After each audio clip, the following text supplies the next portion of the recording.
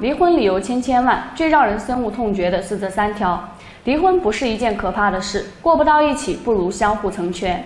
离婚理由千千万，但是最让人深恶痛绝的却是这三条。下面跟随民意阅读来盘点一下吧，看看你是否遇到过深恶痛绝的理由。第一条，外遇，婚姻里有外遇。往小了说是不忠，往大了说就是人品有问题。别管什么原因，凡是搞外遇搞到离婚者，人品往往不过硬。这样的人，别说做夫妻，做朋友都要被人思量一番。不爱可以明着说，何必伤害忠诚？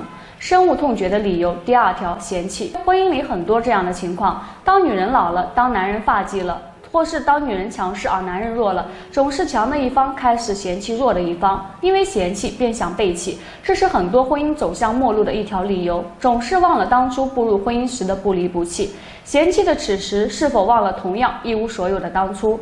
深恶痛绝的理由第三条，家暴。遇到家暴，受害一方一定要勇敢提出离婚。民意阅读认为，施暴方的人格和能力必须双重质疑，只有无能者才会对至亲的人下重手。因为家暴，最后忍无可忍提出离婚，这是很多离婚理由中的一条，也是最让人痛心的一条。试问施暴者对枕边人下手，当真那么有快感吗？同问被虐者，当对方一次一次伸手过来时，迎接他的为何不是你的拳头，而是你的脸？家暴之所以成为深恶痛绝的离婚理由之一，更多源于受害方对施暴方的一再容忍。离婚理由千千万，最让人深恶痛绝的是这三条，你中招了吗？